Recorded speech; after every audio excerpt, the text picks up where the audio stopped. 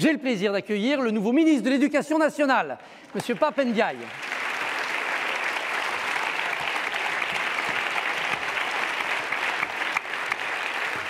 Bonjour, bonjour, bonjour. Je suis très heureux de vous accueillir parce que un jour j'étais dans cette salle et on jouait sur cette scène une pièce de votre sœur. Et c'était un grand moment que de voir entrer dans ce lieu du répertoire du théâtre français le texte d'un auteur vivant. C'est toujours une grande, grande émotion. Donc voyez, vous, vous, succédez à votre sœur sur cette scène. Merci beaucoup de nous avoir rejoints pour cette dixième finale des, des petits champions de la lecture. Vous voyez que l'avenir de la lecture française est entre de bonnes mains. Il y a quand même énormément de talent du côté des enfants, du côté des auteurs. Merci de votre présence.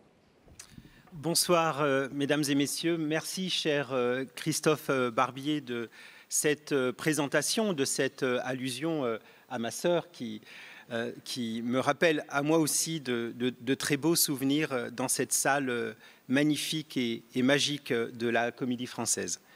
Cher Éric Ruff qui nous accueillait, cher Antoine Gallimard et Vincent Montagne, initiateurs de cette belle opération qui a dix ans, chère euh, Suzy Morgenstern, qui, qui présidait le jury, chers euh, jury, chers auteurs, chers enseignants et élèves, si nombreux ici présents. Je suis heureux et fier de prendre la parole en cette finale à la suite de si belles lectures. Je salue le courage des élèves qui sont venus sur cette scène, qui ont surmonté le trac et l'ont fait oublier pendant qu'ils lisaient. Je salue leur grand talent un enfant encouragé par sa classe et son enseignant, et un livre sur une scène, voilà une image qu'on retient de celle qui porte des idées, un imaginaire et des possibles pour longtemps. C'est sans doute celle qui a donné une telle vitalité à cette initiative depuis 2012 et a favorisé sa diffusion extraordinaire jusqu'à réunir cette année plus de 100 000 élèves qui ont concouru. Bravo pour la remarquable organisation de ce concours qui a impliqué les équipes pédagogiques et leurs élèves sur tout le territoire et qui a surpassé ses capacités habituelles avec euh, l'ouverture nouvelle aux classes de CM1 en plus des classes de CM2. La mise en place des finales régionales en avril dernier a aussi permis que des lectures soient prononcées, en plus de la comédie française, sur des scènes aussi prestigieuses que le Théâtre national de Strasbourg ou le Théâtre du Nord à Lille, et dans un réseau de médiathèques qui offre souvent des espaces remarquables pour les événements auprès de leur public.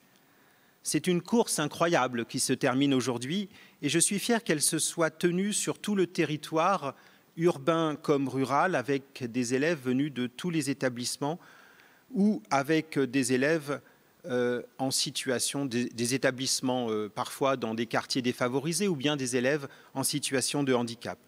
Bravo à tous les enseignants, toutes les enseignantes qui ont permis cela.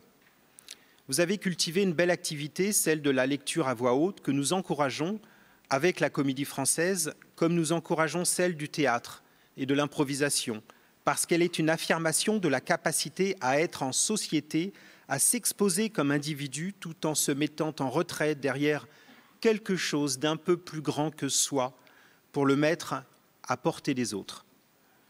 Lire à voix haute, ce n'est d'ailleurs pas la même chose que lire. Je, je, tiens à en dire quelques mots ici et m'attarder un peu sur la portée pédagogique de ce projet.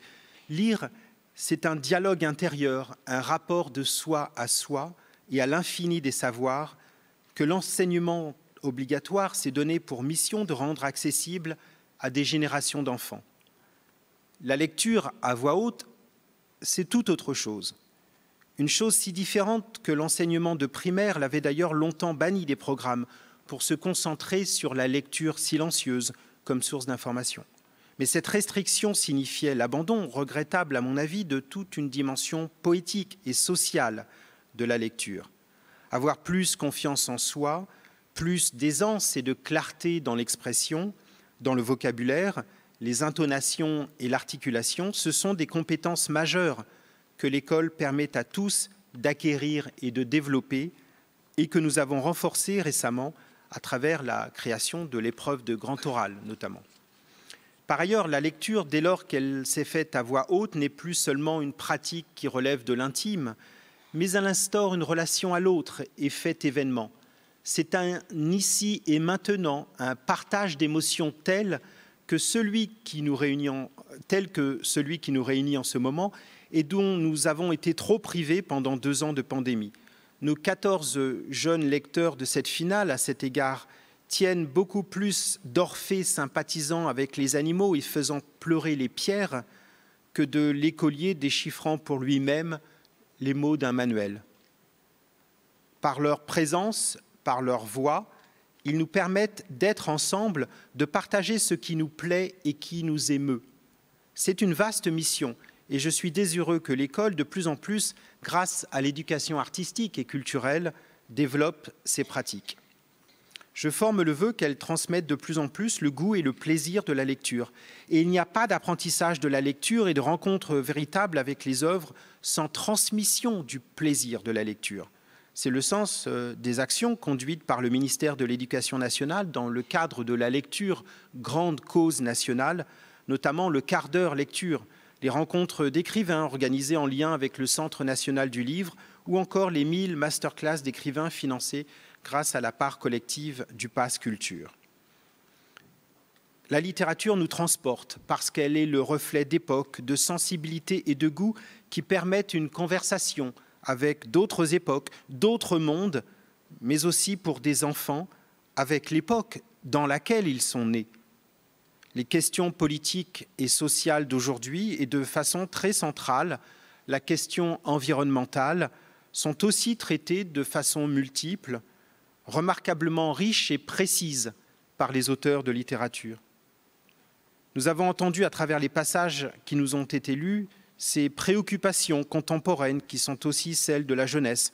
Nous avons entendu parler de la Révolution française et des enfants raflés de 1942. Il a été question de féminisme et de l'installation d'une ZAD improvisée par des enfants pour protéger un écosystème.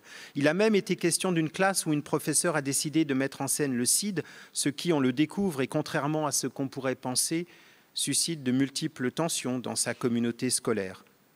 Tous les enfants n'ont pas la chance de naître avec une bibliothèque familiale, mais tous les enfants devraient avoir accès, quelle que soit leur fortune, à ce bien-là, à ce plaisir-là. Je salue le travail que vous faites en partenariat avec le Salon du livre jeunesse de Montreuil et la remarquable sélection faite par votre jury de spécialistes d'ouvrages parus l'an dernier et dont c'est précisément le caractère contemporain et la beauté qui sont, qui sont propres à amener les plus jeunes dans le débat public, dans le goût et l'intérêt commun de la lecture. Avant de laisser place aux auteurs puis aux lauréats, je veux donc encore euh, vous remercier et vous féliciter pour cet événement qui célèbre le plaisir de la lecture. Je lui souhaite une longue vie et qu'encore des dizaines de champions de la lecture nous réunissent et nous enchantent. Bravo, bravo et bonne chance. Merci beaucoup. Merci beaucoup. Merci beaucoup, Monsieur le Ministre. Merci de votre présence. Merci, beaucoup. Merci. À très bientôt. Merci beaucoup.